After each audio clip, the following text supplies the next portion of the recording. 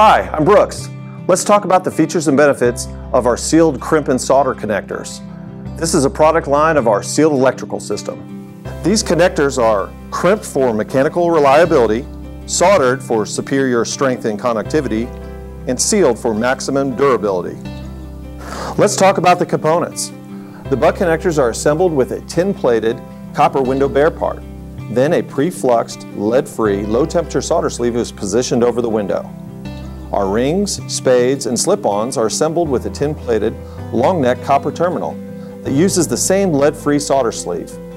This sleeve butts up against the base of the crimp barrel. These components are insulated with adhesive line, dual wall, heat shrink tubing to prevent wire corrosion. When properly installed, these connectors are as strong as the wire. The majority of these terminals are CUL listed, RoHS and Prop 65 compliant, and assembled in the USA. To see how to properly install these connectors, please click on the installation video.